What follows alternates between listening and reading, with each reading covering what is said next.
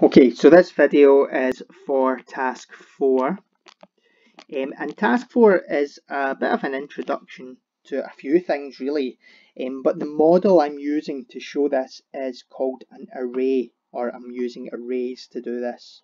Uh, and I don't think I've written this down anywhere, but it's spelled like this. An array also kind of looks a bit like a rectangle.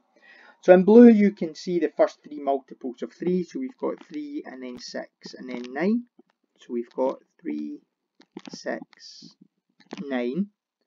And then over here we've got 5, 10, 15. So you've got your 5, your 10 and your 15. And hopefully what you can see here is we've got different rows going on here.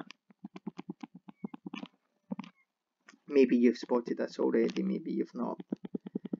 But you're at your multiples of 3, you're adding on 3 extra each time.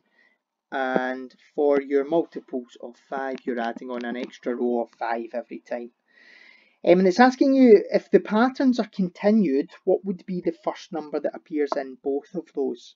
Um, and I'm actually, I'm not going to bother drawing the arrays um, because maybe we can see another pattern here. We're adding 3 every time, so we've got 3, then 6, then 9. So if I continue this, oops, sorry, um, we've got 3, 6, 9. If I add another 3, it'll be 12, and then I add another 3, it'll be 15. Now, what you can notice is these are the multiples of 3 that I've just drawn here. And for our multiples of 5, well, we can see that 15 is there as well. And if I'm looking for the lowest common multiple, or the first number that appears in both, it must be 15. So this question here, the lowest common multiple of 3 and 5 is 15. Um, and I'll just I'll just write down a few extras here just to be sure. So we've got 15 here and here. Uh, then we'd have 20 and 25. So the lowest common multiple of um, 3 and 5 is equal to 50. Okay, then for 3 and 7, so let's write out some multiples of 3. So we've got 3, 6, 9, 12, 15, uh, let's go for 18, 21, 24. If that's not enough, we can put add in some more later. And then we've got a multiples of 7. You might have spotted already what it's going to be. So we've got 7, 14, 21, and then we've got 21 there. We've got 21 in both of those. Um, I could keep going, but I'm going to stop there.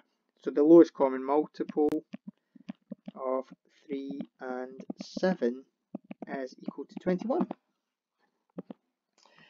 Okay, and then the next one I've asked you to do is 6 and 15.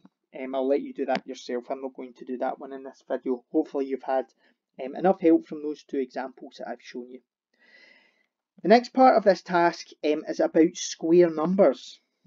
Um, and we've already looked at a square number, which you can see is 9. So it tells you that 9 is a square number. And I've asked you to explain why this is. Um, I'm going to explain it hopefully it will make sense. But, well, first of all, I'd like you to think about what it is that makes a square a square, rather than your usual type of rectangle. Um, but a square is just a type of rectangle. But anyway, we can talk about that in the first year. Um, you've got the same number of rows as you do columns. So you've got three going along and three down and that's why it's called a square number because when you draw the array it looks like a square. Uh, and similarly I've asked you to find some other ones if I went 4 down and 4 along well I'd have 1, 2, 3, 4, 5, 6, 7, 8, 9, 10, 11, 12, 13, 14, 15, 16. So 16 is an example of another square number. Uh, you might be able to find some more of your own after that. So you've got 16. Okay, then we've got the cube numbers.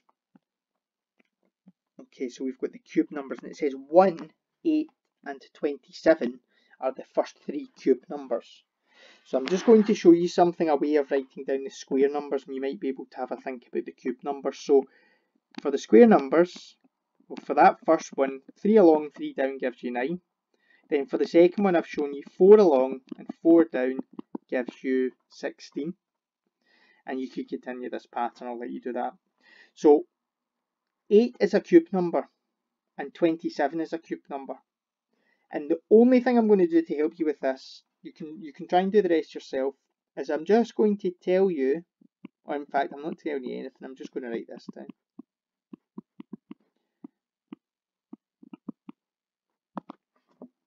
So I'm writing that down, but I don't see any cubes here. So I'm interested to know why you think it's called a cube number. Um, but anyway, that's the last task. I hope you found these videos helpful. Um, and if not, or even if you, whether you have or haven't, I'm interested in hearing your thoughts on, on some of the ideas we've talked about. You've got my email address, so please, please let me know. Okay, thank you.